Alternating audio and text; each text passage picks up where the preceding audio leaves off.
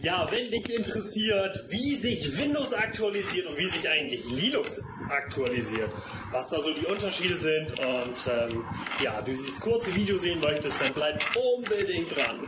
Viel Spaß, bis gleich.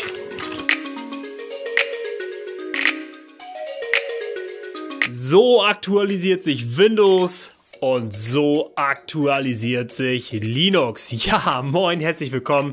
Wie eben schon angekündigt, möchte ich in diesem Video erstmal gerne dein Feedback natürlich erfahren und andererseits möchte ich gerne natürlich kurz darüber sprechen, über diese Unterschiede. Wie scheiße ist eigentlich Windows zum Teil? Versteh mich bitte nicht falsch. Ich bin zum Beispiel auch jemand, ich nutze sehr gerne Windows 10. Es funktioniert. Also ich muss sagen, mittlerweile funktioniert es wirklich toll.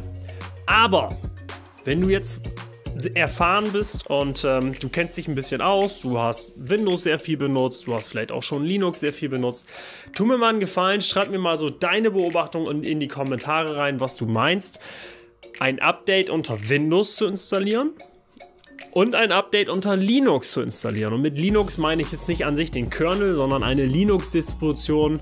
Ja, meinetwegen Ubuntu, Linux Mint, ähm, Debian und so weiter und so fort. Ja, es gibt unzählige ähm, Linux-Distries, aber ich rede schon von einer modernen, aktuellen Linux-Distribution.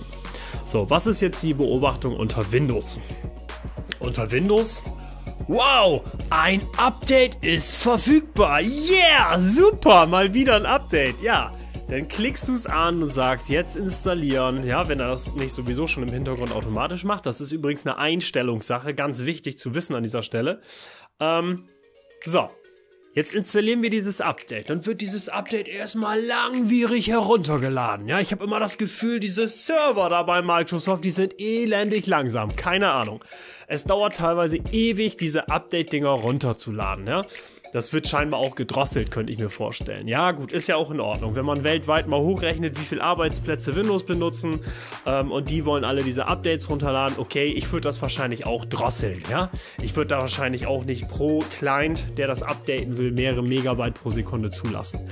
Aber trotzdem, also das ist, ähm, lassen wir das mal außen vor wie updatet sich Windows? Okay, es wird jetzt erstmal langwierig heruntergeladen und so weiter. Und jetzt ist Windows irgendwann bereit ganz cool. Jetzt kann ich nämlich das Update installieren. Und, ob du es glaubst oder nicht, ob du es glaubst oder nicht, eventuell braucht Windows sogar einen Neustart. Ja, kommt ganz selten vor, kommt ganz selten vor, aber es könnte durchaus sein. Nein, also ich, wann braucht Windows mal keinen Neustart? Ja, sind wir mal ganz ehrlich. Also da merkst du einfach auch, wie veraltet dieses Update-Prinzip da im Hintergrund einfach auch funktioniert. Windows braucht bei fast jedem Kram einen Neustart. Ja, so, jetzt gehen wir mal auf die andere Seite. Wir gehen mal zu Linux. Ja, und ähm, ja, ich sag mal, alle auf Debian basierenden Distributionen, die zum Beispiel mit dem Paketmanager apt-get oder sowas zusammenarbeiten, da gibst du ein sudo apt-get update oder upgrade ein und der rattert in der Konsole im Hintergrund alles durch, lädt die Sachen mal eben schnell runter. Du kannst dir übrigens verschiedene Spiegelserver bei Linux aussuchen, ja, gewöhnlich, dass du sagst, Mensch, soll das Europa sein, soll das irgendwie direkt in Deutschland sein, an einer Uni zum Beispiel, die mehrere Megabyte pro Sekunde kann, oder willst du es vielleicht sogar in den USA runterladen? Ähm, die standardmäßigen Spiegelserver sind sehr oft in den USA. Ich würde aber empfehlen, das umzustellen auf einen, ja, langlebigen Server von einer deutschen Universität zum Beispiel, hier bei uns in Deutschland. Und ähm, ja, was macht dieses System? Im Hintergrund lädt er die Dinger runter, er installiert sie einfach alle. Du musst höchstens vielleicht nochmal dein Root-Passwort eingeben, ja, weil das ist ja das Schöne. Ähm, nicht jeder darf bei Linux alles. Ja, der normale User ist eben nicht root. Ja, das ist halt nicht der Administrator. Und dementsprechend musst du das im Normalfall auch eingeben. So, aber wie cool ist das? Das Update wird im Hintergrund installiert und solange du kein Kernel-Update machst, ja, solange du keine wichtigen Modul-Updates machst, so richtig grundlegende Systemveränderungen, solange musst du auch nicht neu starten. Ja, also Linux ist da total klasse, da wird ein Dienst wieder runtergefahren, da wird ein Dienst wieder hochgefahren und zack, es läuft. Es funktioniert einfach, ja. So, Neustart ist wirklich eine Ausnahme, wenn du wirklich ein komplettes Kernel-Update machst. Ähm, ja, also bei systemverändernden Updates, sag ich mal, da ist das wichtig, darauf zu achten. Aber bei Windows, Windows braucht gefühlt jedes Mal einen Neustart. Ja, ich habe das Gefühl, egal was für ein Update da reinkommt, das muss ja sowas von wichtig und systemverändernd sein. Unglaublich. Und bei Linux, es rödelt einfach im Hintergrund fertig. Ich starte nicht neu und es funktioniert.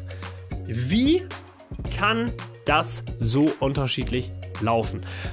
Und jetzt müssen wir mal überlegen. Das eine kostet Geld, gar nicht wenig sogar. Ja, gerade für Firmen, für Betriebe ist die Microsoft-Welt echt nicht billig. Also wenn du da mal dich beschäftigst, was so Firmen alleine so an Lizenzen für bestimmte Microsoft-Produkte zahlen, Wahnsinn, ja.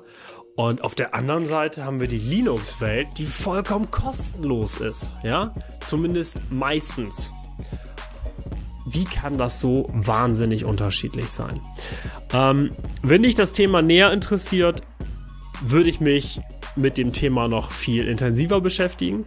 Ja, und würde dir dazu ein neues Video machen. Dafür brauche ich natürlich kurz dein Feedback. Würde mich freuen, wenn du das mal in die Kommentare reinschreibst, ob du gerne mal so einen zweiten Teil über so eine Art Video hier haben möchtest, wo ich mich mal mit der Strategie von Windows, was da im Hintergrund passiert und auch mit der Strategie von Linux beschäftige. Einfach hier unten rein.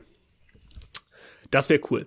Ja, wie, was hast du so beobachtet? Was sind so deine Beobachtungen? Wie funktioniert das bei Windows? Wie funktioniert das bei Linux? Was findest du cooler? Ähm, schreib mir das mal bitte unten rein. Würde mich wirklich mal freuen, würde mich richtig interessieren, wie du da so tickst, ja, was da so deine Meinung zu ist. Und ob du vielleicht auch der Meinung bist, ey, das funktioniert auf Linux doch schon viel, viel geiler irgendwie. Ja, wenn dir das gefallen hat, gib dem Video gerne einen Daumen nach oben. Ähm, ich würde mich freuen, wenn du die Glocke hier unten aktivierst, ja, wenn du uns abonnierst. Und wenn du jemanden kennst, einen Freund, einen Bekannten, ja, ähm, vielleicht jemand aus deiner Familie, und du sagst, hey Mensch, das wäre für den ja wirklich interessant, leite ihm dieses Video gerne weiter. Das würde mich richtig freuen. Damit unterstützt du mich und mein Team und dafür bin ich dir herzlich dankbar. Ja, ich bedanke mich für deine Zeit. Ich wünsche dir einen coolen Tag. Ich freue mich, wenn wir beide uns im nächsten Video wiedersehen.